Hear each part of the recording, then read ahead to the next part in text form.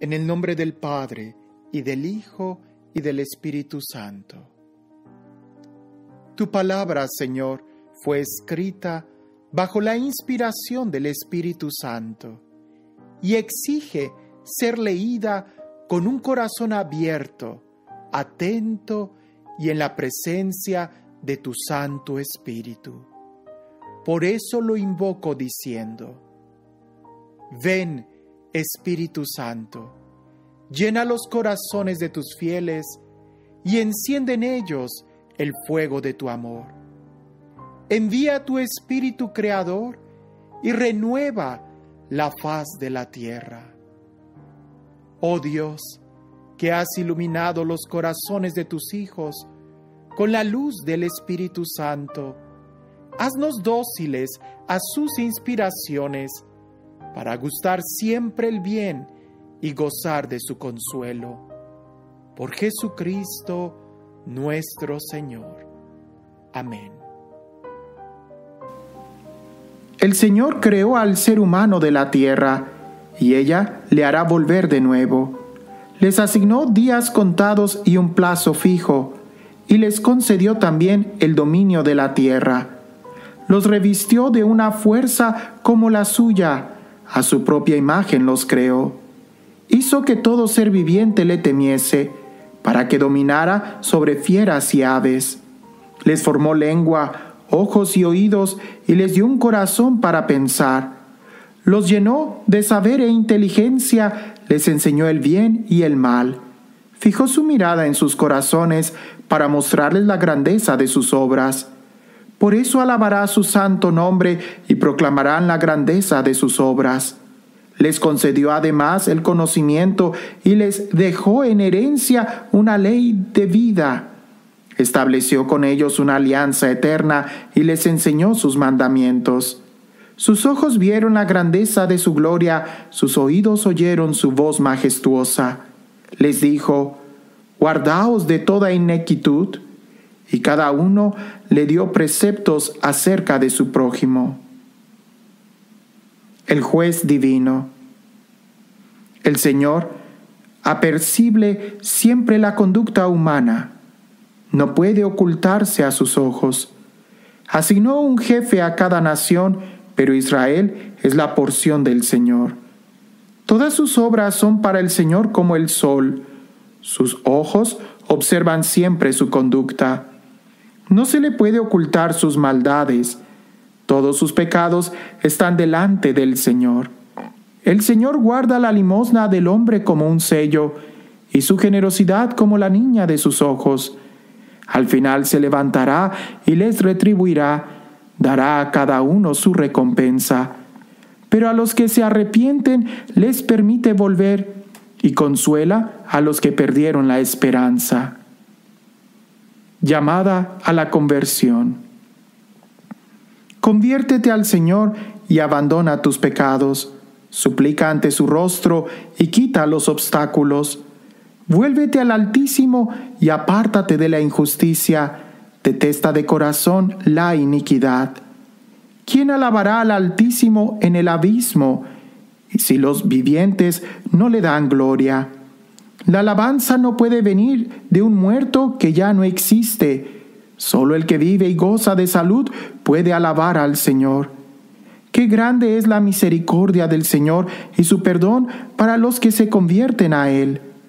Las personas no pueden tener todo, porque los humanos no son inmortales. ¿Qué hay más luminoso que el sol? Y sin embargo, a veces se eclipsa. Pero la carne y la sangre solo maquinan el mal. Dios pasa revista al ejército celeste, pero los humanos solo son polvo y ceniza.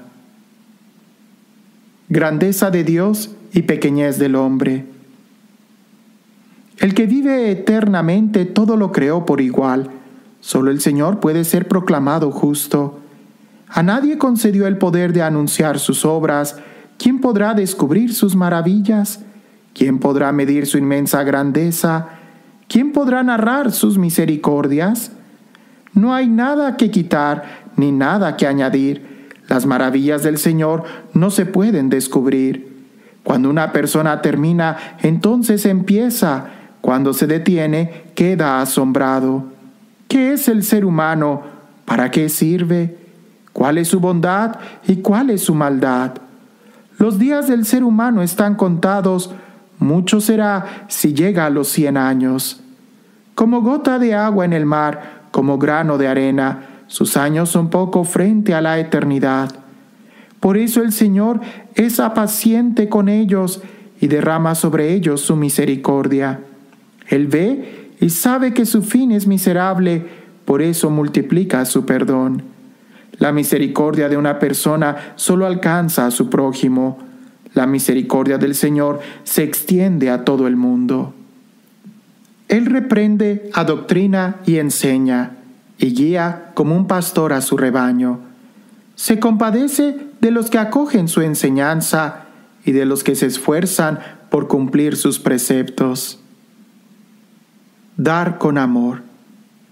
Hijo, no acompañes de reproches tus favores, ni tus dones de palabras ofensivas. No mitiga el rocío el viento sofocante, pues una buena palabra vale más que un regalo. ¿No vale más la palabra que un buen regalo? Pero el hombre caritativo sabe unir las dos cosas. El necio reprocha sin caridad, el don del envidioso hace llorar. Reflexión y precaución. Antes de hablar, infórmate. Antes de caer enfermo, cuídate. Antes de juzgar, examínate a ti mismo, y el día del juicio encontrarás perdón. Antes de caer enfermo, humíllate, y si pecas, arrepiéntete. Nada te impida cumplir un voto a su tiempo. No esperes el día de la muerte para justificarte. Antes de hacer un voto, prepárate. No seas como quien tienta al Señor. Acuérdate de la ira de los últimos días y del momento del castigo cuando Dios oculte su rostro. En tiempo de abundancia recuerda la carecía y en tiempo de riqueza piensa en la pobreza y en la indigencia. El tiempo corre de la mañana a la tarde y todo pasa veloz delante del Señor. El sabio es precavido en todo y en la ocasión de pecado se anda con cuidado. Todo hombre prudente conoce la sabiduría y rinde honor al que la encuentra. Los que hablan con prudencia se hacen sabios, y de su boca llueven proverbios acertados. Dominio de sí mismo. No te dejes arrastrar por sus pasiones, refrena tus deseos. Si quieres satisfacer todos tus caprichos, serás el hazme reír de tus enemigos. No te aficiones a la buena vida, ni te dejes atrapar en sus redes. No te arruines festejando con dinero prestado cuando tienes la bolsa vacía. Un obrero bebedor nunca se hará rico. El que desprecia las cosas pequeñas poco a poco se arruinará. Vino y mujeres pervierten a los inteligentes. El que anda con prostitutas se vuelve temerario. Larvas y gusanos serán su herencia. El temerario perderá la vida dominio de la lengua. El que pronto se confía no tiene juicio, el que peca a sí mismo se perjudica. El que se complace en el mal será condenado. El que detesta la palabrería evitará el mal. No repitas nunca un chisme y no sufrirás ningún daño. Ni amigo ni enemigo se le cuenta, a menos que sea pecado para ti, no lo descubras porque el que te escucha no se fiará más de ti, y en la ocasión más propicia te despreciará. ¿Has oído algo? Sepúltalo dentro de ti, tranquilo que no reventarás. El necio oye una noticia y ya empieza a sufrir, como la mujer que va a dar luz un hijo. Flecha clavada en el muslo es una noticia en las entrañas del necio. Pregunta a tu amigo Quizás no haya hecho nada, y si acaso lo ha hecho para que no reincida. Pregunta a tu prójimo quizás no haya dicho nada, y si acaso lo ha dicho, para que no lo repita. Pregunta a tu amigo, muchas veces son calumnias, no creas todo lo que se dice. A veces uno resbala sin querer, ¿y quién no ha pecado nunca con la lengua? Pregunta a tu prójimo antes de censurarle y obedece a la ley del Altísimo. Verdadera y falsa sabiduría. Toda sabiduría consiste en temer al Señor, y solo hay sabiduría cuando se practica la ley. Practicar el mal no es sabiduría, y seguir el consejo de los pecadores no es inteligencia. Hay una habilidad que es detestable. El que carece de sabiduría es insensato. Más vale ser corto de inteligencia y temer al Señor que muy inteligente y transgredir la ley. Hay un ingenio que sirve a la injusticia, que para mantener su derecho utiliza trampas. Hay quien hace el mal y anda encorvado por las penas, pero su interior está lleno de engaño. Se cubre la cara y se hace el sordo, pero cuando nadie lo vea, te tomará por delantera. Si no se atreve a pecar, es porque le faltan las fuerzas pero en cuanto encuentra la ocasión hará el mal. Al hombre se le conoce por su mirada, por su rostro se conoce al inteligente. El modo de vestir, de reír y de caminar revelan lo que es una persona. Silencio y palabras. Hay una represión inoportuna y hay quien calla por prudencia. Cuanto mejor reprendas, que estar airado. El que confiesa su culpa evita la pena.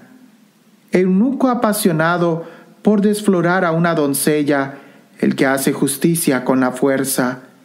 Hay quien calla y pasa por sabio, y quien se hace odioso por su verborea. Hay quien calla por no tener respuesta, y quien calla porque conoce su momento.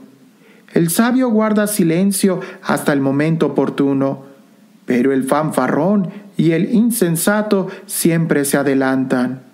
El charlatán se hace insoportable y el que pretende imponerse se hace odioso. Paradojas. Hay quien saca provecho de la desgracia y hay ganancias que arruinan. Hay regalos que no se aprovechan y regalos que rinde el doble. Hay quien en la gloria recibe humillaciones y hay quien la humillación levanta la cabeza. Hay quien compra mucho con poco dinero, pero luego lo paga siete veces más caro. El sabio se hace querer por sus palabras, mientras los favores del necio son inútiles. El regalo del necio no te sirve de nada, porque sus ojos desean recibir más de lo que ha dado. Da poco y todo te lo echan en cara, mientras abre la boca como un pregonero, presta hoy y reclama mañana.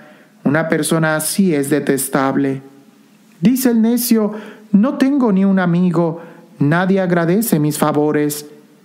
Los que comen mi pan son unos insolentes, ¿Cuántos y cuántas veces se reirán de él? El hablar inoportuno. Mejor es resbalar en el suelo que con la lengua, así la caída de los malos llegará de repente. Persona mal educada es como el chisme inoportuno que se repite en boca de imbéciles. De la boca del necio no se aceptan proverbios, pues jamás los dice en el momento adecuado. Hay quien a causa de su pobreza no puede pecar y por eso puede descansar sin remordimiento. Hay quien se pierde por vergüenza y quien se pierde por respetar a un necio. Hay quien por vergüenza hace promesas al amigo y así por nada se gana un enemigo. La mentira. Grave defecto para una persona la mentira. Anda siempre en boca de imbéciles. Más vale ladrón que mentiroso obstinado, aunque ambos heredarán la perdición. El hábito de mentir es una deshonra, la vergüenza le acompaña siempre. el sabio y la sabiduría. El sabio se abre camino con sus palabras, y la persona sensata agrada a los poderosos. El que cultiva la tierra recogerá una buena cosecha, el que agrada a los poderosos expía la injusticia. Presentes y regalos ciegan los ojos de los sabios, como un bozal en boca ahogan los reproches. Sabiduría escondida y tesoro oculto, ¿para qué sirven? Más vale el que oculta su necedad que el que oculta su sabiduría.